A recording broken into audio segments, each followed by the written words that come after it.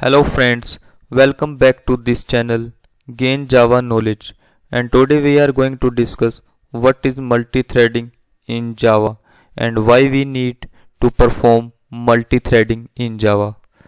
So first we will discuss what is multitasking. Executing several tasks simultaneously is the concept of multitasking and there are two types of multitasking one is process based multitasking and second is thread based multitasking. And what is process based multitasking? Executing several tasks simultaneously where each task is separate independent process. Such type of multitasking is called process based multitasking. And the example for process based multitasking is while typing a java program in the editor we can able to listen mp3 audio songs. At the same time we can download a file from the internet. All these tasks are independent of each other and executing simultaneously and hence it is process based multitasking. And this type of multitasking is best suitable at OS level. And second is thread based multitasking. Executing several tasks simultaneously where each task is a separate independent part of the same program is called thread based multitasking and each independent part is called a single thread. This type of multitasking is best suitable for programmatic level when compared with C++. Developing multi-threading example is very easy in Java because Java provides inbuilt support for multi-threading through the API. We can extend thread class and create a thread and by implementing runnable interface we can create the thread. In multi-threading on 10% of the work done by programmer and 90% of the work will be done by Java API.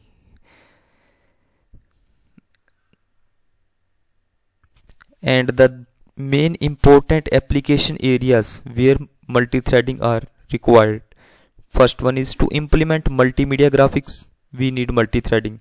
And to develop animations, to develop video games, to develop web and application servers, whether it is process based or thread based. The main objective of multitasking is to improve the performance of the system by reducing the performance time. And we can create thread in Java by two ways First one is by extending the thread class and second is by implementing runnable interface. First defining a thread by extending thread class. Here I have created one class my class and extends by thread. Thread class is provided by Java API and we need to override public void run method and inside next class we have created main method and create the object for my class and when we call object dot start method then it will create a automatically a thread and that will execute our run method. Let us see in the code how this will work. Now let us see in the code how we can create thread and run this thread. First I have created one class. My here I have created one. I've created thread demo class. Now I will create my thread class. Here I will follow first approach by extending thread class how we can create thread.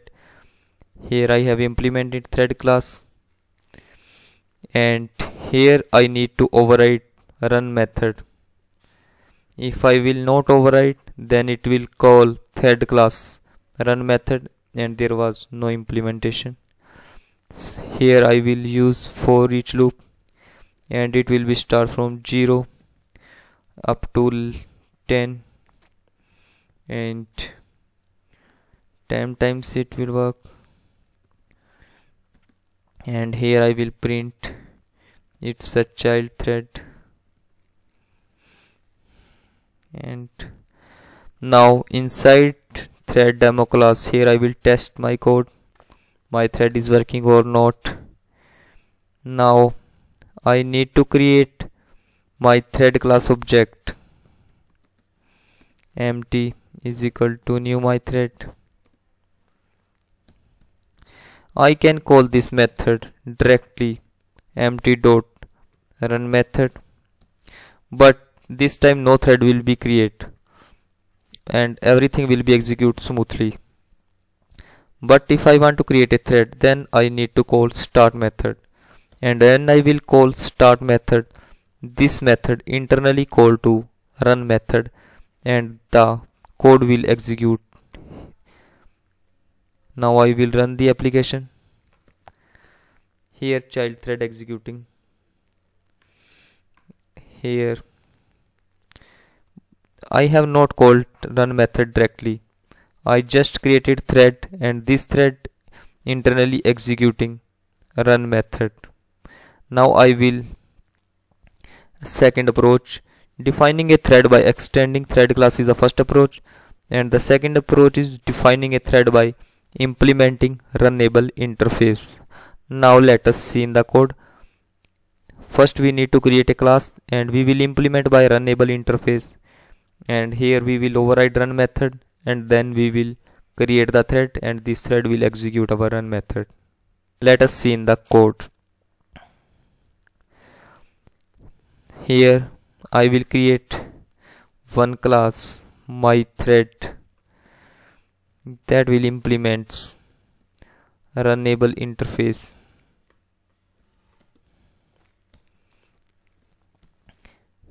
when I will implement this interface then I need to implement unimplemented methods.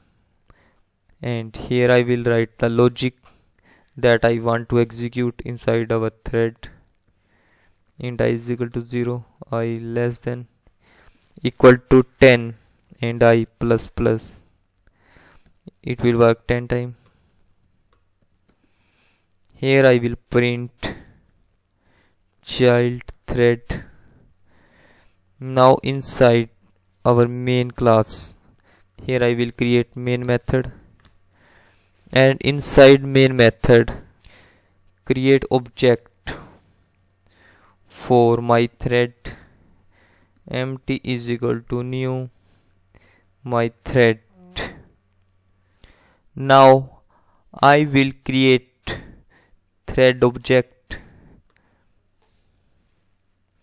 and inside thread I will pass our own object as a parameter and I will call start method. And when I will call start method this start method internally called to our override run method and our code will execute. Here child thread executes 10 times. Okay thanks. These are the two ways how we can create thread and this is the life cycle of thread that we will discuss in next session